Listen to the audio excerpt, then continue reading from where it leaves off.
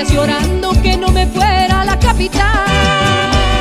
Recuerdo hoy las montañas y las mañanas de mi ciudad.